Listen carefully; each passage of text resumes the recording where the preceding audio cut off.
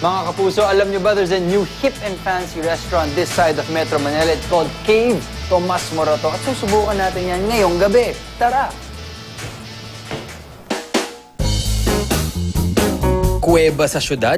Yan daw ang konsepto ng bagong resto na ito sa Tomas Morato. Pero ano nga ba ang meron dito? Pagkain kuweba kaya? Cave Tomas Morato is a casual dining restaurant that serves uh, casual dining international foods like pizza, pasta, and steaks. We offer here a comfortable na, na place. Our ambience is parang nasa cave. Ayan naman pala, social version pala ito ng kuweba. At hindi basta-bastang mga pagkain ang ino-offer nila, kundi mga bonggang steaks naman pala ang pinagmamalaki nila dito at marami pang iba.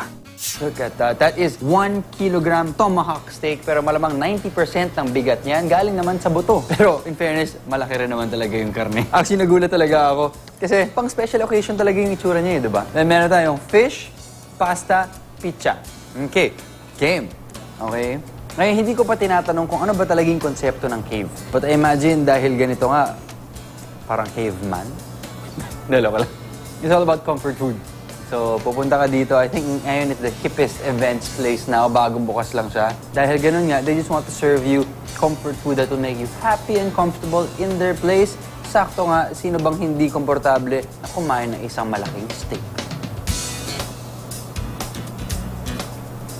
I like.